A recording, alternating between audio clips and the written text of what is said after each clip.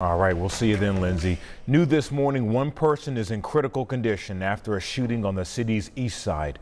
It happened near 38th and Post Road around 11:30 last night. Police found the victim at the scene with a gunshot wound.